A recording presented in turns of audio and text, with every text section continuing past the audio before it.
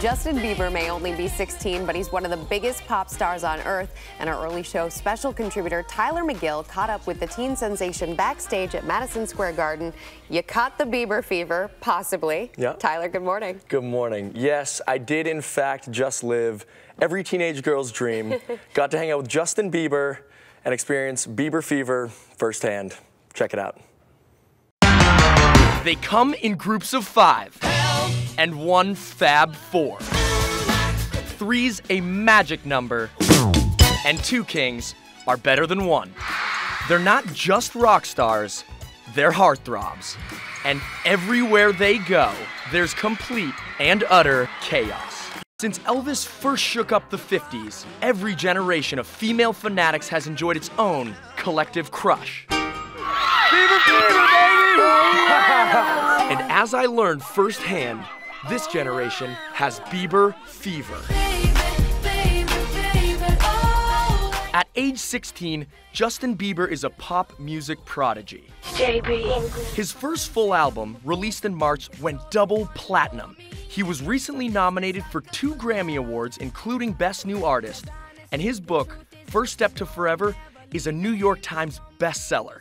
Not only did I buy it, I bought it on the airport, read it on the plane. Nice. Yeah, it was it was interesting. It definitely sparked a lot of conversation. Yeah. So 2010 has been like a pretty ridiculous year. It's yeah, it's definitely been great. Everything's just happened so quickly. There's a reason fame has come so fast for Justin. He's the first musician to go from internet sensation to mainstream stardom. You go to a talent show, your mom records it, puts it on YouTube, and it's like 1,000 hits, 10,000 hits, 100,000 hits.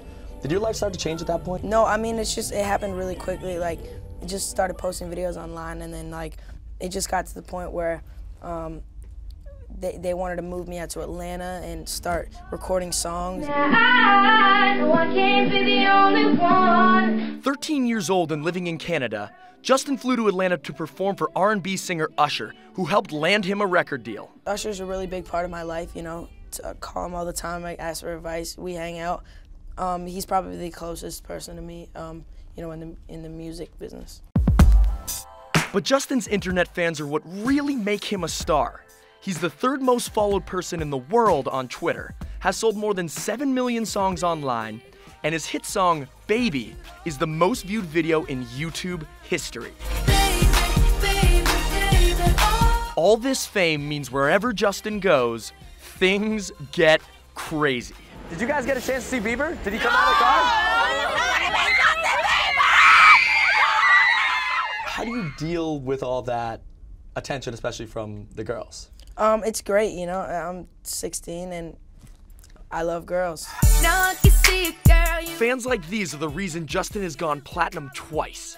What he really wants now is a little gold. What would that mean to pull a Grammy? It would mean the world to me. That's definitely one of my, my dreams is to win a Grammy. So to have two Grammy nominations is crazy. And if Justin does win, I can think of a few people who would be very happy. I know this